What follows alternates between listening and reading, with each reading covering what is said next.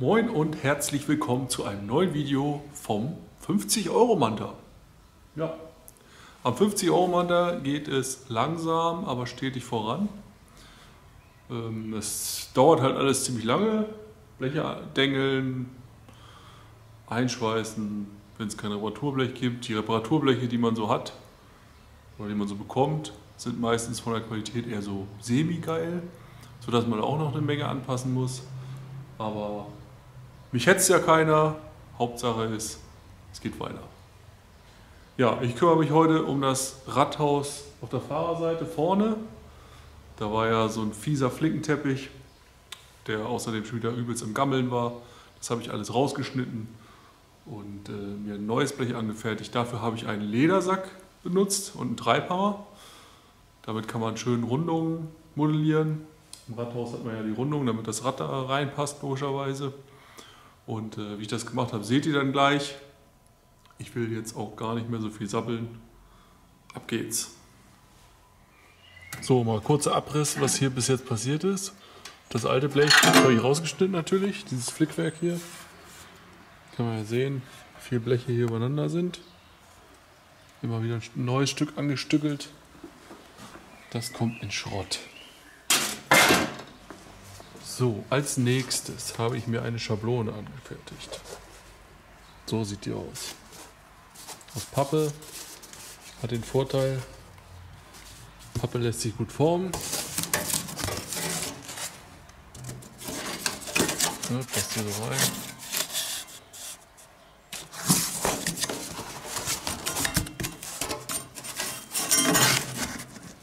Mehr oder weniger. Diese Pappe habe ich dann auf ein Blech übertragen. Das kann man hier schon sehen. Ich habe hier nämlich schon angefangen, das Blech zu treiben. Ja, man sieht, hier ist eine Wölbung drin,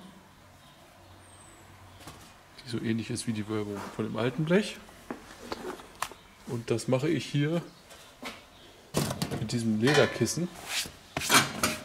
Mit diesem Quarzsand gefüllt und mit diesem großen runden Kunststoffhammer kann man das Blech dann schön formen und dann kriegt man diese Rundung hin. So. Ich muss jetzt hier noch ein bisschen weiter dengeln. Hier unten muss noch ein bisschen runder.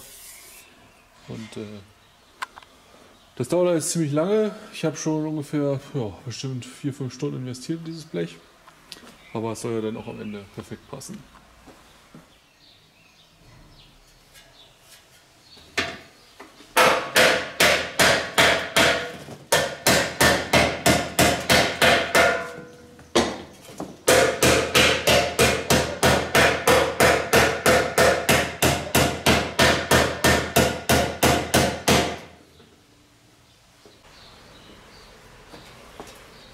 Wieder ranhalten das Blech und hier habe ich gesehen, muss noch auch noch weiter rausgetrieben werden.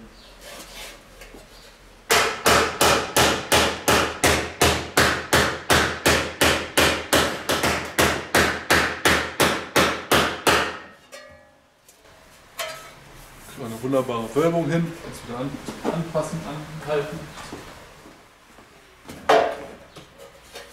So kann man sich Stück für Stück vorarbeiten.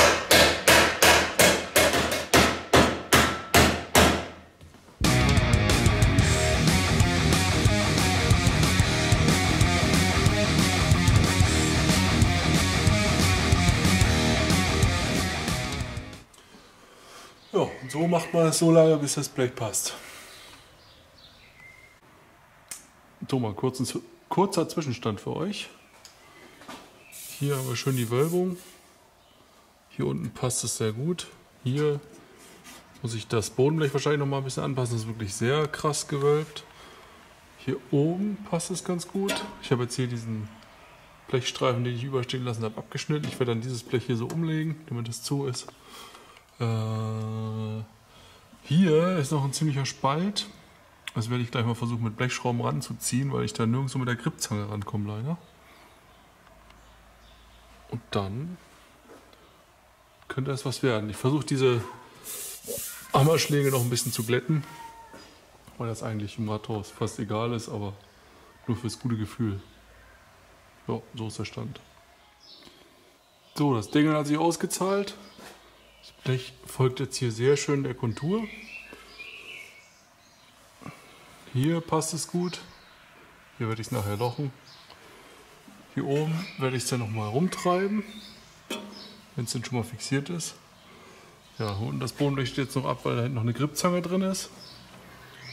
Und äh, ja, Schweißarbeiten werde ich dann wohl an einem anderen Tag machen, weil jetzt ist es nämlich schon wieder 7 Uhr und ich will noch grillen. Ich habe das Blech jetzt noch mal hier auf dem Verwerkbank liegen. Ich habe mir hier so ein, das ist eigentlich ein Faust, so, so, so eine Handfaust oder Ausbeufaust. Aber die hat ungefähr die Rundung hier von dem. Und ich versuche jetzt hier diese Hammerschläge noch ein bisschen rauszuarbeiten. Dafür nehme ich einen glatten Hammer und massiere dann hier das Blech noch so ein bisschen. Ist zwar nicht so schlimm, weil man es eh nicht sieht, aber der eigene Anspruch.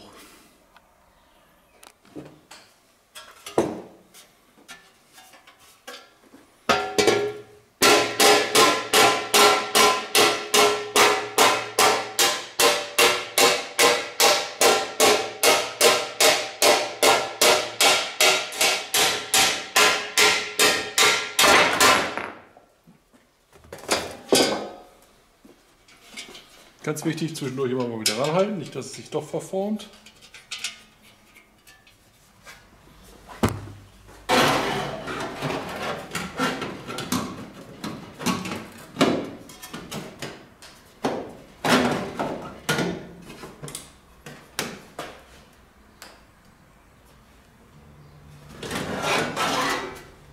Hier muss es noch ein bisschen runter.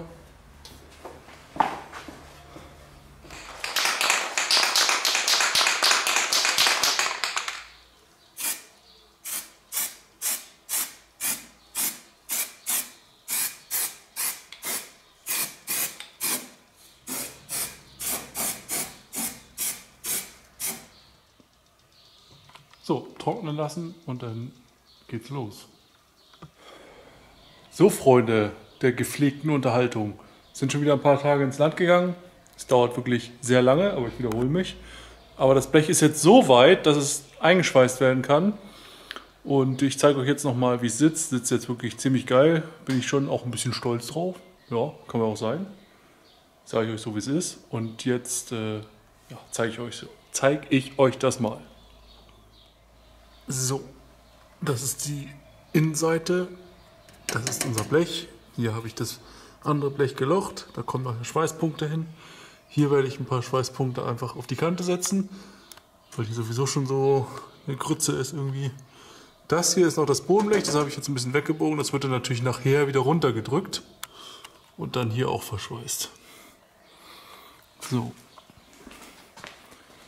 Hier außen sitzt es schön hier außen an der Kante, hier innen sitzt es schön bündig. Das hier wird noch interessant, auch diese Rundung. Aber dafür werde ich das Blech erstmal fixieren und dann das Bodenblech entsprechend anpassen. Hier oben ist auch noch ein bisschen, steht es auch noch ein bisschen ab. Auch da muss ich auch noch mal ran. Aber so sieht das jetzt aus. Eigentlich ziemlich geil.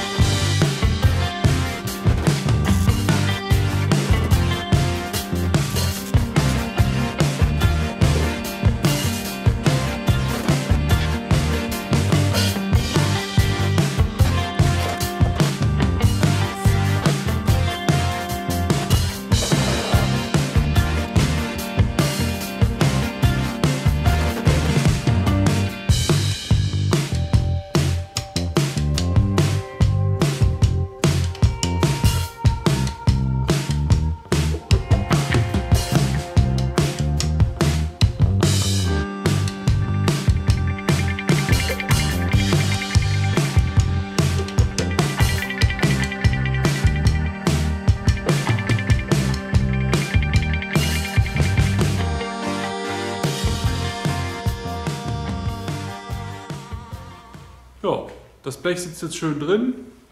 Das Bodenblech sitzt schön geschmeidig am Längsträger. Es ist alles sauber verschweißt. Ich muss jetzt noch ein bisschen Schweißnähte glätten und das alles schön versiegeln.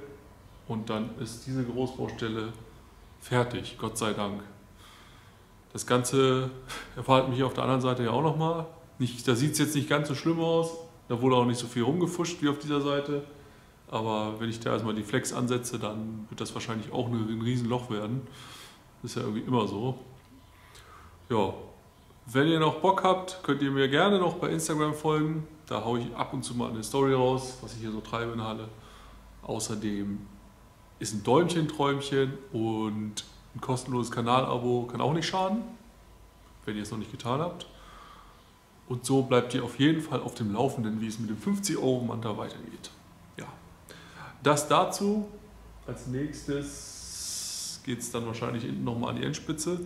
Ich gehe wieder ein Stück zurück, da muss ich aber nochmal Bleche bestellen. Brauche ich Reserveradmulde und Endspitzenreparaturblech. Weil ich werde wohl doch die Reserveradmulde komplett tauschen. Ja, so geht es da weiter. Gut, in diesem Sinne, macht was, ich melde mich ab und tschüss. Jetzt zahlt sich aus, wenn man bis zum Ende dran bleibt. Ah, Felgen. Ja, man muss ab und zu mal sich einen Motivationsschub holen, indem man ein bisschen rumspinnt. Und ich habe hier gerade diese Melba-Felgen in 7x14 erstanden. Die sollen eigentlich auf unseren Rekord, aber ich finde, die passen auch auf den Wander ganz geil. Vielleicht ein bisschen klein, aber wirklich noch richtig geilen Zustand. Eigentlich müsste man noch mal äh, Kotflügel montieren. Ich weiß gar nicht, ob ich da jetzt ohne weiteres rankomme. Ja. Schreibt doch mal in die Kommentare, was ihr von den Felgen haltet. Passen die zum Auto? Eher nicht. Einfach mal in die Kommentare hacken. So, jetzt aber Schluss hier und tschüss.